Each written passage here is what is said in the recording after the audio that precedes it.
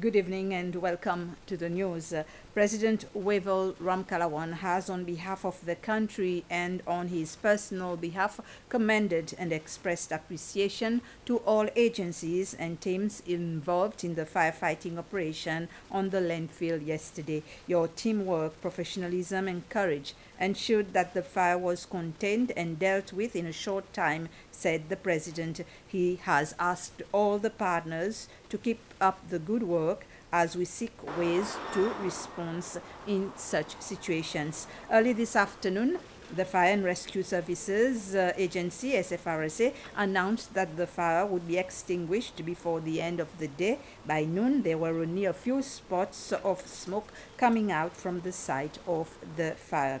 The fire is said to have started in the tires piled along the borders of the landfill late yesterday, late morning yesterday, and the SFRSA says it is yet to determine the cause of the fire.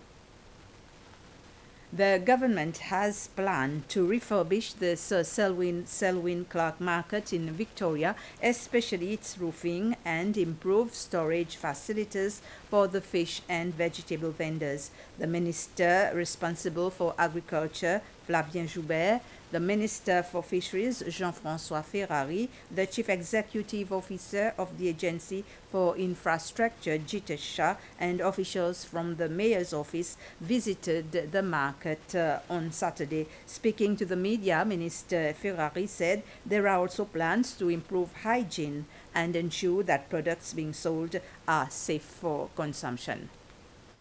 We are working as a team to try and find out what are the best solutions that we can bring to a problem which seems to be getting a little bit out of hand. We have received a lot of complaints uh, from health authorities, from Victoria District, from tourism, and we need to take hold of this issue and make sure that we keep Victoria clean or we make Victoria clean because at the moment there are, there are serious issues.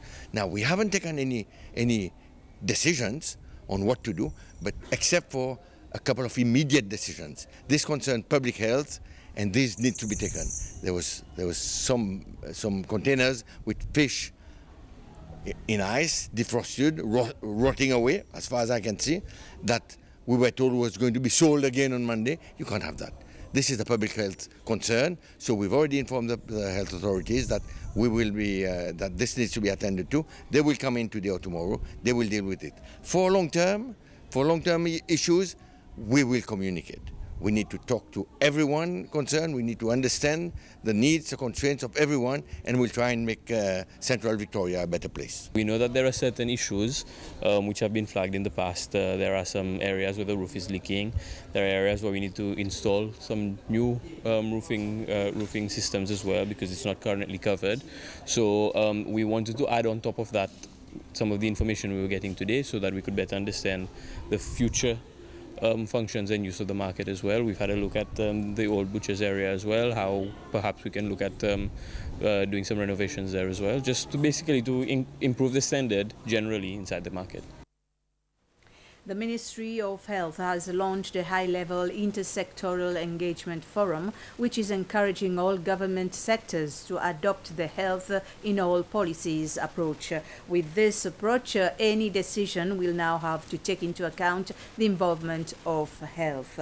The ministry held its uh, first meeting today with the Ministry of Youth, Sports and Family. Policy analyst at the Ministry of Health, Dr. Sanjeev uh, Pugazendi, said that through these meetings, the Ministry of Health also wants to build better relations with its partners, in particular to discuss issues in impacting the health and well-being of the population. These include, for example, drug addiction, obesity, unprotected sex and non-communicable diseases, including cancer and diabetes.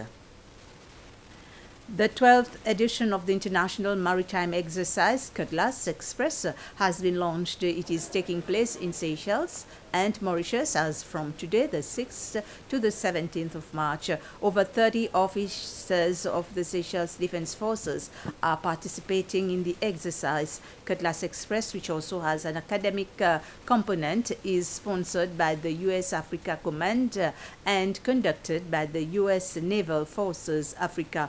It was launched by the U.S. Embassy's Special Advisor to Seychelles, Mr. James Donegan. Narcotics trafficking, human smuggling, and illegal, unregulated, and unreported fishing are just some of the crimes that affect the security, stability, and prosperity of countries in the, in the Indian Ocean and around the world. This exercise brings together countries in an effort to counter those malign influences.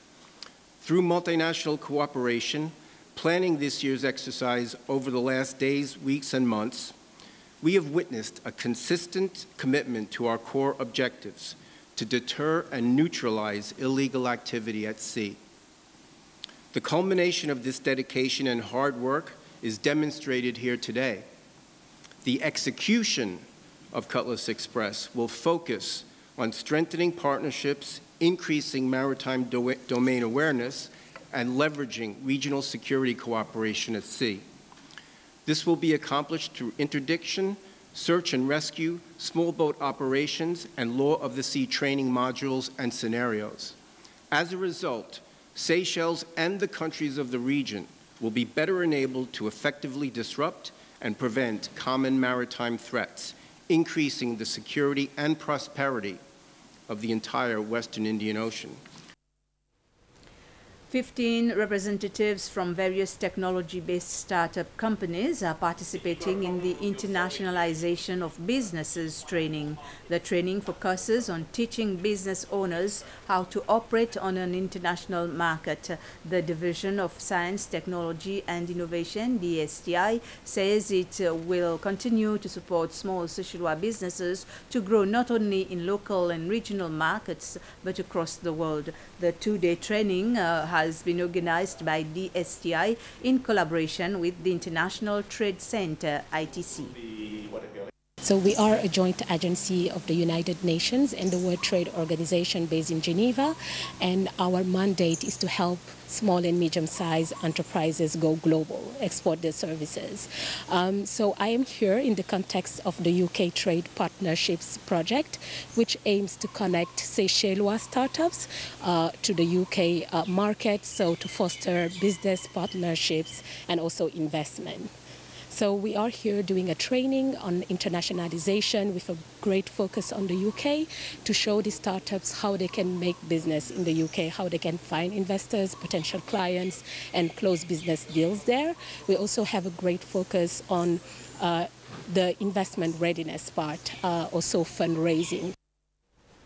President Wavel Ramkalawan addressed the fifth United Nations Conference on the Least Developed Countries uh, plenary session yesterday afternoon in Doha, Qatar, a conference with aim to identify actions and partnerships at the highest possible level to deliver on its proposed agenda. During his statement, the President laid emphasis on the importance of collective approach required to attain set goals and targets. He stated that although Seychelles does not form part of the least developing countries, being present at the conference shows that Seychelles stands united with other fellow SIDS and African countries in advocating and understanding their needs. In advancing the support for finance, President Ramkalawan called for the support of the adoption of a multi-dimensional vulnerability index to benefit vulnerable countries. Furthermore, he placed emphasis on the South-South cooperation to strengthen and sustain long-term partnership.